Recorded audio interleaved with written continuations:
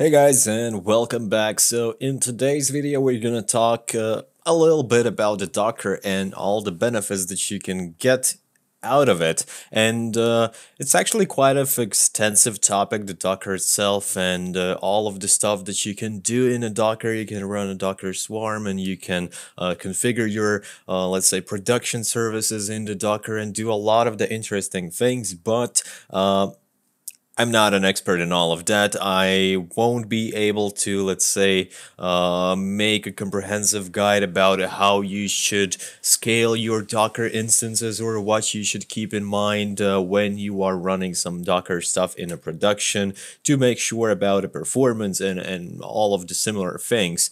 But if you are not an expert in this field, too it doesn't mean that you don't have to you don't have to use docker at all because i personally am using this only for some testing purposes for some troubleshooting for for those cases when you need to test something out when you need to test some sort of the software application uh, which is uh, let's say a bit of painful to configure, right? Let's say if we want to install and we need to test something on, um, I don't know, Ubuntu or Debian machine and uh, we don't have it. So we need to download an image, uh, which will take some sort of the time. Uh, we need to install a virtual machine. Then we need to find out how to actually to install the software that we're talking about, which might be like very simple steps in a couple of minutes. And it might also uh, be more complicated task. So the greatest benefit of the Docker is that even without any extensive knowledge, you can spin up your uh, applications that you want to play around with, that you want to test and troubleshoot in just a matter of couple of minutes. And uh, even even on some some other distributions. So if you need Ubuntu, Red Hat, CentOS, uh, Alpine, uh, Debian, whatever else, if there is a Docker container created for it, you can spin it up in a couple of uh, minutes or even seconds. So uh, let's get started, right? And uh, yeah, in my installation, uh, sorry, like this, yeah. So in my installation, I have clean CentOS 8 machine and uh, previously I was using for a long time just the CentOS 7 and all of my Docker was configured in the CentOS 7 so I will be also doing like a clean installation of the Docker Community Edition in the CentOS 8 so it should be the same steps for the RHEL 8 uh, and then we're gonna actually try to spin up some uh, real containers. So first of all we need to install the Docker Community Edition which is free um, and anybody can get it and to do that we need to first of all add a repository, official uh, Docker Community Edition repository from which we're going to download um, Docker Community Edition. So DNF config manager, add repo and the URL to the repository.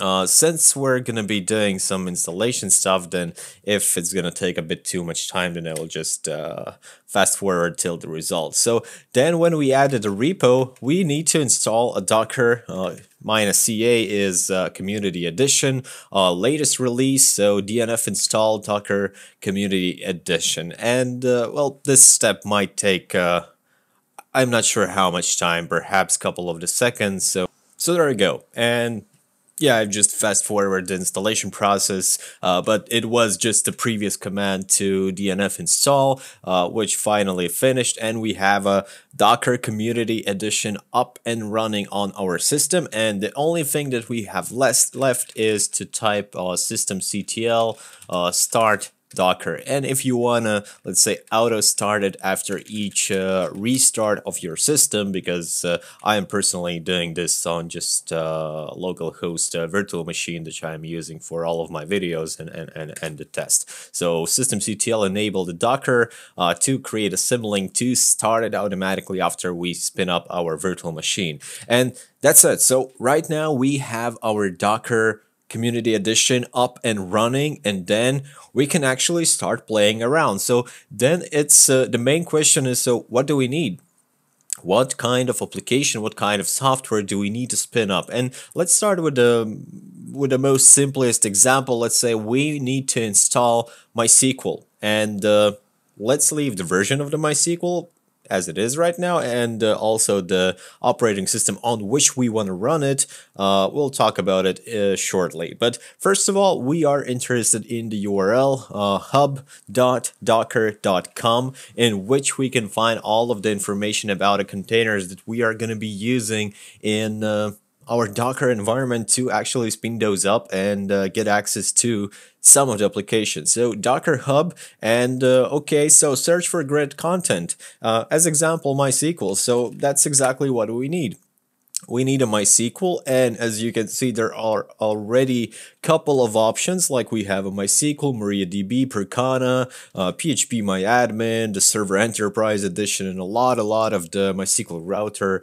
uh, cluster and yeah a lot of the different things but we're gonna be taking as uh, our example, the MySQL, which is official image, which has 10 uh, million plus downloads and 10k plus stars. So click on the MySQL and uh, then we basically have uh, all of the required information here. So what we can go through is uh, supported tags and respective Docker file links. So first of all, we are able to choose what sort of version of our MySQL do we want to spit up. It could be very old uh, MySQL 5.6 or even 5.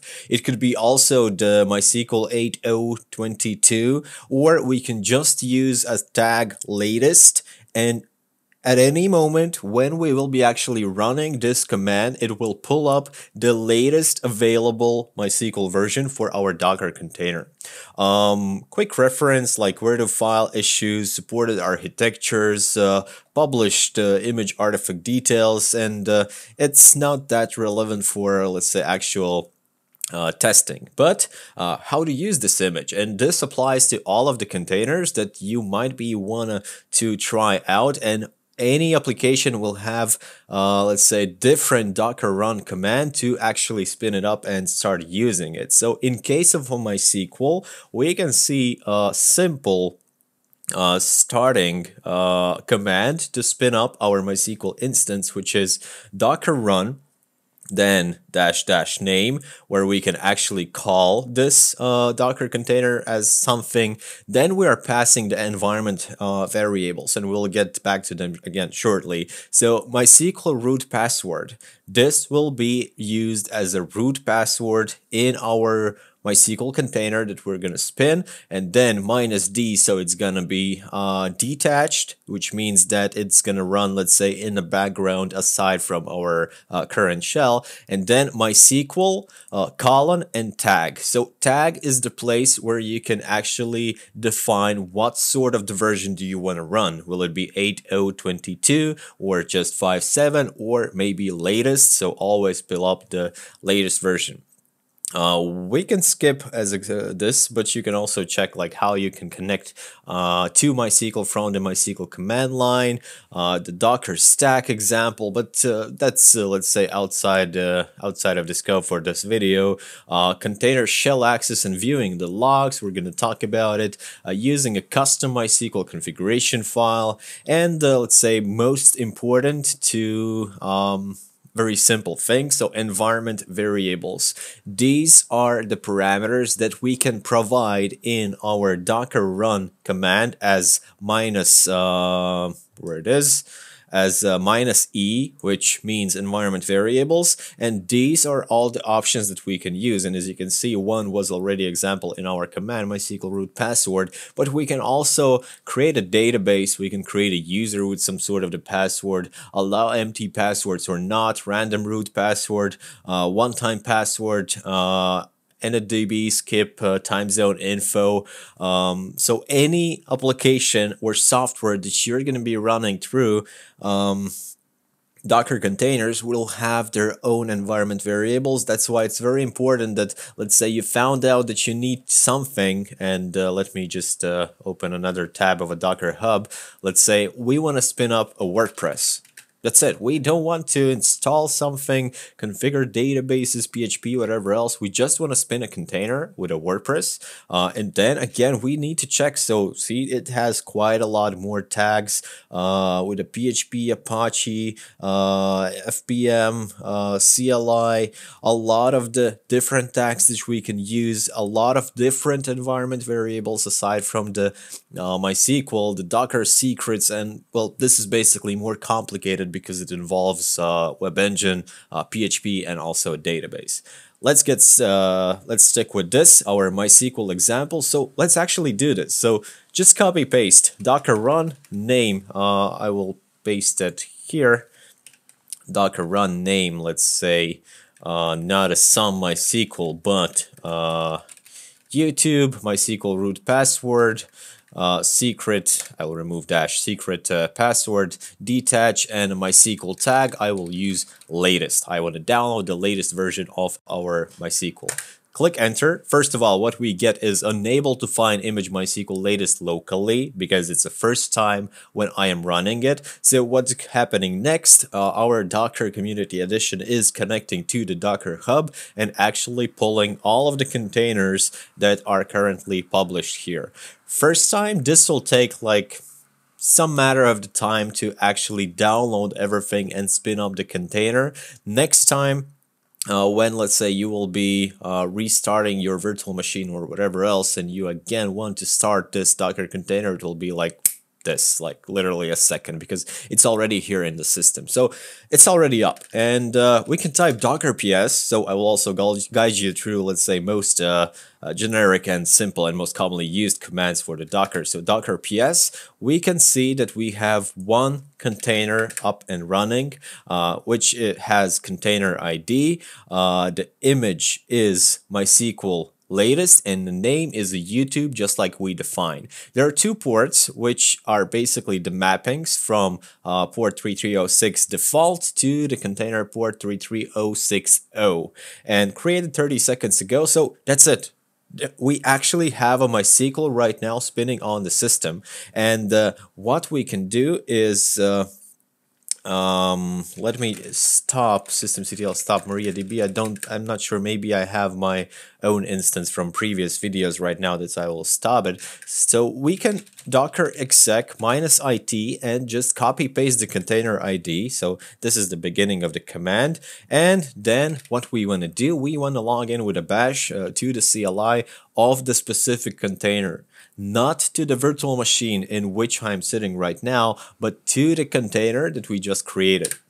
Like this, see the initial of the of the shell line changed I am inside of my container right now and then I can actually try to log in to my database access denied right using password no uh, to the root user so I will define uh, minus p to actually be able to enter the password. And it is uh, actually forgot what was secret secret password. No. Uh, my no sorry. Ding my secret password. What was the let's check in the let's actually exit and uh,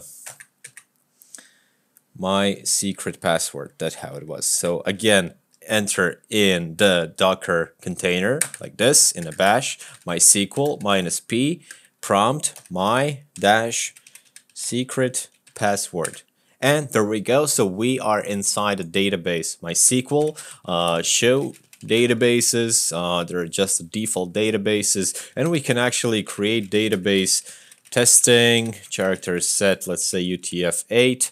There we go, we created a database, uh, testing, we can use it, and uh, there are no tables, so we are free to some sort of the tests. And then if, let's say, we can exit from it, let's say we want to check the logs of our database. So we can again type the docker ps and type docker logs, in this case, and container ID. Docker logs, container ID. There we go. We can see all of the logs, how our uh, MySQL server was started and how it is running. Are there any errors or not? So we can see that the version is 8.022, which is the latest on the current moment. And uh, okay, if we let's say we don't want to use it anymore. So we did our internal tests and we are ready to get rid of it. So Docker, uh, I think it was stop and container ID. Done. So Docker PS, it's not here, but it's actually still on our system.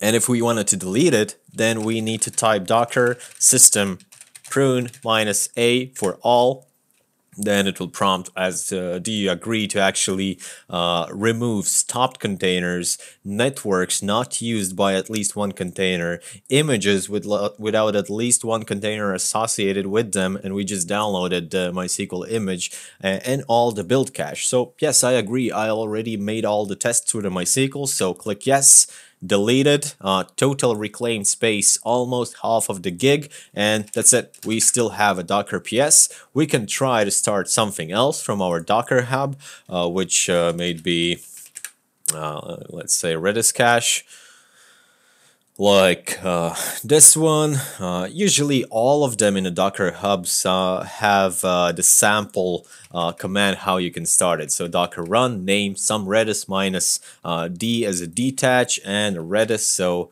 type in no image find locally again.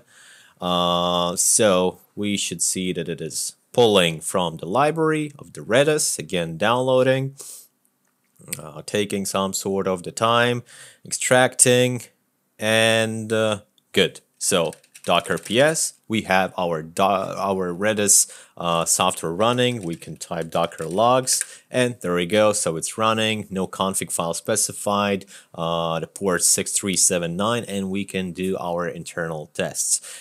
Basically, nowadays, like any um, software, any popular applications also have their Docker containers. So even if you don't have all the knowledge required to, um, to let's say spin those up and prepare them for the production for actual load and make sure that it's going to be running long term, you can always use this for your internal tests. You will save a lot of the time because you won't have to create uh, separate virtual machines and uh, read the documentation like how can I actually install it, what sort of uh, configuration files do I need to fill, where to find them. Just one command, wait a couple of seconds or a minute and you're good to go to use it. So thank you guys. I hope that you find this useful. Uh, I hope that you're going to use this in your uh, internal testings and uh, don't forget to click the like button, subscribe button, and we're definitely going to see you in the next videos. So thank you for now and goodbye.